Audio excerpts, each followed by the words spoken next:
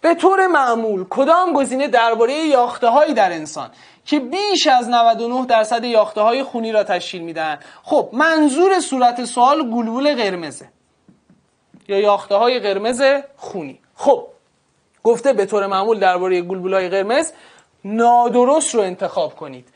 قبل از خروج از مغز استخوان هسته خود را از دست می‌دهند. بله شما می‌دونید که در واقع یاخته های میلویدی تقسیم میشن. میشن گلبول های قرمز نابالغ توی مغز استخوان هستشون رو از دست میدن و بعد از مغز استخوان خارج میشه وارد خون میشه. پس قبل از خروج هستش رو از دست داده. تقریبا یک درصد از آنها روزانه تخریب می‌شوند و باید جایگزین شوند. شما می‌دونید که هر در واقع 120 روز عمر دارن گلبول های قرمز و در هر روز حدود یک درصدشون حدود یک درصدشون که اینم تقریبا رعایت کرده. گفته تقریبا یک درصد. تخریب میشن تو کجا تخریب میشن؟ تو کبد و طحال تخریب میشن و جایگزین میشن. این یعنی دوباره یاخته های گلبول قرمزی جایگزین اینا میشه که به خاطر هورمون ایریتروپویتینی که همیشه به مقدار کم توی خون ما وجود داره. برای ساخته شدن آنها در مغز استخوان فقط به وجود آهن و فولیک اسید نیاز است. پس B دوازده چی.